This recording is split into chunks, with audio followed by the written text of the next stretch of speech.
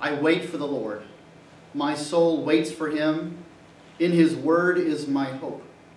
My soul waits for the Lord more than watchmen for the morning. More than watchmen for the morning. My soul waits for the quarantine to be lifted, to be back in restaurants or in parks. My soul waits for my kids to get out of the house and back into school. More than watchmen for the morning. More than watchmen for the morning. There is something to be said about the waiting and the longing and the hoping that we get both from our psalm today and even from our gospel, the story of Lazarus. Waiting, longing, and hoping, and it happens a lot in life. As a matter of fact, that's one of the lessons that we parents have to instill within our children, not just once, but over and over again. Not just that good things come to those who wait, but sometimes just be patient. No, I don't know when we're going to get there. No, I'm not sure when this is going to be done. No, just wait and be patient, please. And it's hard. It's hard for kids. It's hard for adults. It's really hard for anyone who was either hoping for something good to happen or hoping for something miserable or difficult to stop. I wait for the Lord, regardless of my circumstances, the difficulties, the hardships, the worries, the fear. My soul waits not for my circumstances to change, my soul waits for Him. In His Word, that's where my hope is. So my soul waits for Him. More than a watchman who is waiting and hoping for his shift to be done more than those who stand in the darkness and wait for the sun to rise, more than parents who want kids to go back to school, or people who want life to get back to normal. Waiting, longing, and hoping. And if we wait and long and hope in the Lord, that hope does not and it will not disappoint. It's interesting to me that as we look at that Lazarus story and just allow the, allow the narrative to just happen and think through the events and how it must have played out with people who were there and the way that they thought and felt and, and how they saw the actions happening. There's a section of our gospel we actually didn't get to that leads into this where people come to Jesus and say, Look, Lazarus is very sick. And instead of hurrying off, oh my gosh, let's go fix it, he actually seems to take more time, almost like he's stalling. He seems to delay going to Bethany. And really, it's not until he hears that Lazarus has died. The sickness has gone too far. There was no return. And he is dead. And it's really then and only then that Jesus takes a short trip and makes it into Bethany to go to the household of his friends, Martha and Mary, and what used to be the home of his friend, Lazarus. Now, both Martha and Mary, in their own moments, ask Jesus, basically, why weren't you here? Now, it comes across a little more polite than that both of them say something along the lines of, If you were here, our brother would not have died. Now, Jesus never disputes this. He never says, Ah, shucks. Or he never says, Oh, no, there's nothing I could do. Instead, for each of them, he has a slightly different response. But in that slightly different response, I think there is a similar goal. So let's look at him for just a moment. Martha, if we remember from our Martha and Mary story from earlier on, Martha was the doer. She was the one cleaning and cooking and preparing so that when Jesus and his disciples were here, she was the one who said, Mary's just sitting there listening to you. Can't you make her help? Well, Martha is the first one to talk to Jesus. If you had been here, my brother wouldn't have died, but even now I know that God will give you whatever you ask.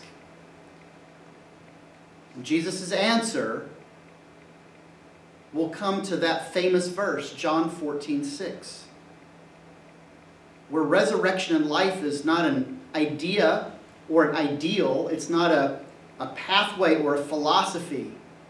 It's found in Jesus himself. He says, I am the resurrection and I am the life. The one who believes in me will live, even if they die. Do you believe this? Yes, Lord, Martha says. Yes, I believe you are the Messiah, the Son of God, who is come into the world. She comes with the question of why weren't you here sooner? And Jesus answers her with doctrine. He answers her with truth. And there is great power and hope, a hope that does not disappoint. Shortly after, Mary comes to ask. Mary says, Lord, if you had been here, my brother would not have died. And again, Jesus doesn't dismiss the question. He doesn't shrug his shoulders, but he gives a different sort of response completely. Instead of the doctrine and the truth that he offers to Mary, what does he do? He says, Where is he? And the people with Mary bring him over to a tomb, and Jesus cries. It's a famous verse because it happens to be the very shortest verse in the Bible, but so much is contained in those two words. Jesus wept. Jesus, Son of Man, Jesus, Son of God, Jesus, who is about to raise Lazarus from the dead, and he knows this, he still cries. And it's amazing. It's amazing theologically, it's, a, it's amazing philosophically, it's amazing pastorally where he answers Martha's questions with doctrine and truth, he answers Mary's question with actions. He answers them with compassion. He answers them with his own tears. Tears that life shouldn't be this way. Tears that those whom we know and love shouldn't suffer and get sick. They shouldn't get old. They shouldn't be hurt.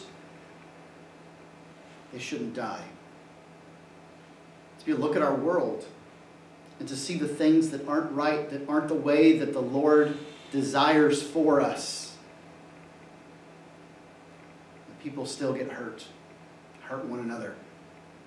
The people get sick or make each other sick. The people suffer and cause suffering. that people get weak and frustrated. People get stir crazy when they're cooped up. People take it out on the ones whom they love the most. People struggle out of work. People fear for their lives. People get sick. And people die. It is the hard and harsh reality of our mortal life of this broken world. And looking at it, Jesus weeps. He weeps out of compassion. He weeps out of love. It doesn't make anything less true of what he said to Martha. It's just the other side of the story. As a whole, Jesus gives a, an answer of both body and spirit. Jesus gives us an answer of both action and truth. For he is the way and the truth and the life. And even though Lazarus will rise again, Jesus still weeps with us. Jesus still stands with us. Jesus still lives in this life of difficulty and in our circumstances with us, and we are never, we are never, we are never alone. Even when we wait and we long and we hope, that hope does not disappoint because Jesus does not disappoint. And I think that's why he takes his time getting there. I think that's why he waits and delays the illness is allowed to take its natural progression, and it ends with the mortal death of Lazarus. And if he had come, could he have healed him? Absolutely. Would it have been miraculous? Sure, it would have. But bringing a man back from the dead, no one will forget that. Everyone who sees it is changed forever.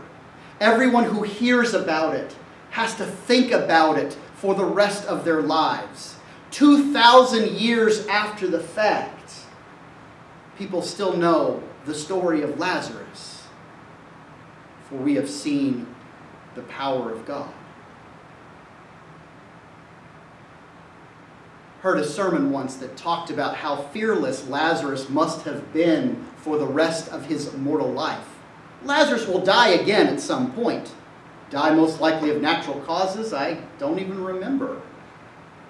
But can you imagine someone who has died and come back and what they're afraid of? And I remember hearing the sermon just thinking, yeah, because Lazarus is like, hey man, there's nothing you can do to me I haven't already seen.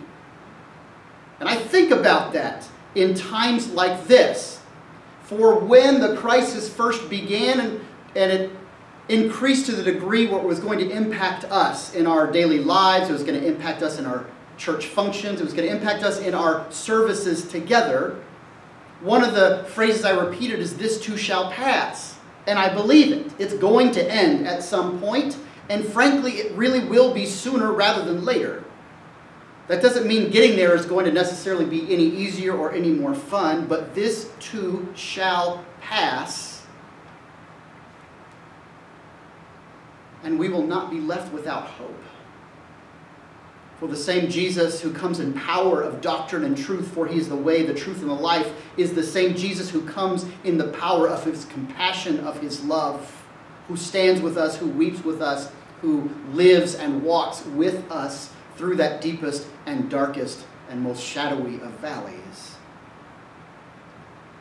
And as we come through this, we will see the glory of God. And like Lazarus, for however many years after being raised from the dead, he continues to live. Should something ever happen to him and anyone ever, are you worried? Are you upset? Are you, are you anxious or scared about this thing that's happening, Lazarus? I can only imagine him saying, Do you know who I am? Do you know who I am? Do you know what's happened to me? I'm Lazarus. Jesus, he's a friend of mine. He's got this. He's got this. This too shall pass. We will come to the end of this quarantine, of this time, and Jesus is a friend of mine. He is a friend of yours. We can come to the end of this, and when the next thing comes rolling our direction, which it always, always will, we say, Do you know who I am? Do you know what's happened to me? Do you know how many days I had to keep my own kids at home without pulling my own hair out and theirs? Man, Jesus is a friend of mine. He's got this. And it's going to be okay. We might have to wait. We might have to long. We might have to hope.